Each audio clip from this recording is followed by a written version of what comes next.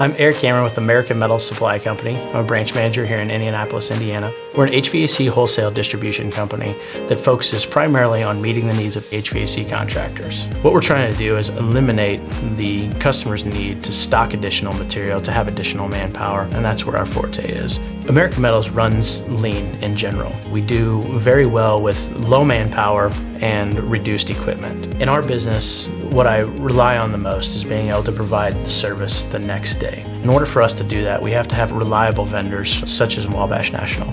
During this purchase process, we were introduced to Wabash National through our truck dealer. Thankfully, we were introduced to the salesperson that knew and understood the business to the point where I didn't have to explain any of my concerns. He knew them before I had to say them. Our rep listened and responded with a product that was perfect to meet our needs. Outside of the standard features of the Wabash truck, our rep actually led us through custom features that helped us solve additional problems that were specific to our industry. Some of the features that I love most about the Wabash body are the door track protector, the integrated handles, and the translucent roof.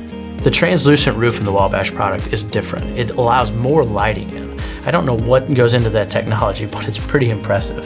From my old truck to my new truck, there's a very substantial difference between the lighting and the body. I'm a firm believer in the Wabash body. I absolutely fully believe that their product has revolutionized the way that we can do things here at American Metals. I've reached out to the rest of the branch managers excited about this product and what it delivered for us to let them know that the next time that they're ready to buy a box truck, that they need to look at the Wabash product and seriously consider bringing that into their fleet.